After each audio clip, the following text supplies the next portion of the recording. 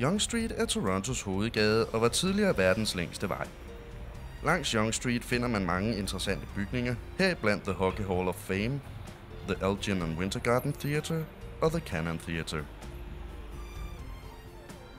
På hjørnet af Young and Dundas finder man Dundas Square, der også bliver kaldt Torontos Times Square. Det er her, man rigtig oplever, at man er i en stor by med kæmpe reklameskilte, lys, lyd og masser af trafik. Pladsen er centrum for shopping i hele byen. Blandt andet følges hele vestsiden af Young Street mellem Dundas Street og Queen af det store indkøbscenter Eaton Center, der med sine 160.000 kvadratmeter og over 300 forskellige butikker er et af Torontos største turistattraktioner med over 1 million kunder per uge. Et godt sted at få sin shoppingtrang styret.